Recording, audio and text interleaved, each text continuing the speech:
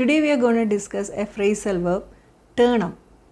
Turn up means to be found, maybe after being lost.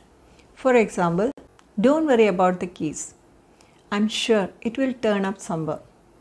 അതായത് നമ്മൾ ചില സമയത്ത് ചില സാധനങ്ങൾ ഭദ്രമായിട്ട് എവിടെയെങ്കിലും എടുത്തു വയ്ക്കും കുറച്ച് കഴിയുമ്പോൾ നമ്മളത് മറന്നു പോകും എന്നിട്ട് അതിങ്ങനെ അന്വേഷിച്ചുകൊണ്ട് നടക്കും അപ്പോൾ അതാണ് ഇവിടെ സംഭവിച്ചിരിക്കുന്നത് അപ്പോൾ ഇവിടെ പറയുന്നത് നീ ടെൻഷൻ അടിക്കാതിരിക്കേ. കുറച്ച് കഴിയുമ്പോൾ അത് എവിടെയെങ്കിലും നീ തന്നെ കണ്ടുപിടിക്കും.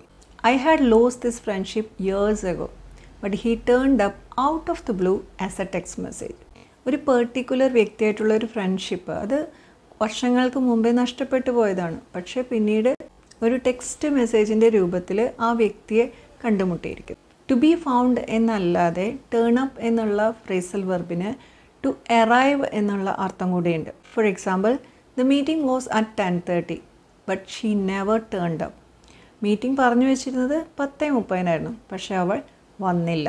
I don't have enough money but I am sure something will turn up ഇപ്പോൾ എന്റെ കയ്യിൽ ആവശ്യത്തിനുള്ള പൈസയില്ല പക്ഷേ എനിക്ക് ഉറപ്പാണ് അത് എവിടെ നിന്നെങ്കിലും എത്തിച്ചേരും.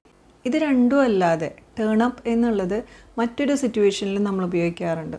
ഫോർ എക്സാമ്പിൾ നമുക്ക് ഇപ്പോൾ ടി വിയുടെ സൗണ്ട് കൂട്ടണം. അല്ലെങ്കിൽ ഒരു പാട്ടിന്റെ സൗണ്ട് കൂട്ടണമെങ്കിൽ നമുക്ക് പറയാം please turn up the volume അല്ലെങ്കിൽ please turn the volume up ഇനി കുറയ്ക്കണമെങ്കിലോ please turn down the volume അല്ലെങ്കിൽ please turn the volume down അതേപോലെ ഇനിയിപ്പോൾ ടി വി ഓഫ് ചെയ്യണമെന്നുണ്ടെങ്കിൽ please turn off the T V switch off എന്നും പറയാറുണ്ട്.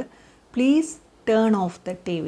So today we have seen how to use the phrasal verb turn up in three situations.